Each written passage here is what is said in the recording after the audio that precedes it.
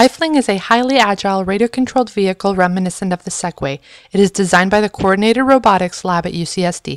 What makes iFling unique is its ability to pick up and throw a ball while standing upright and moving on two wheels.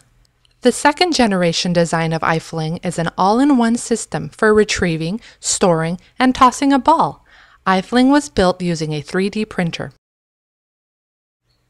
iFling is stabilized via feedback control, which allows it to balance upright.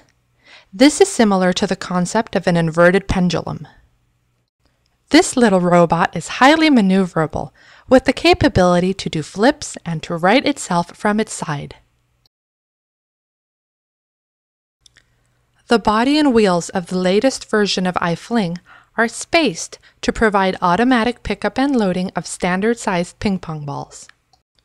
First, the vehicle drives over the ping pong ball. The undercarriage design pins the ball between the wheel and body. Then the wheel rotates to bring the ball into the body for storage. Once ready to throw, the inertia of the wheels allows iFling to quickly rotate its body from a laying down mode to an upright mode, resulting in an effective toss. We analyze iFling's dynamics and use models to design the most effective throwing arm shape and control algorithms. iFling is in the process of its third design iteration incorporating the agility and maneuverability of the first version with the ball pickup and throwing capacity of the second design. iFling has the potential to be automated so that multiple bots can play catch together.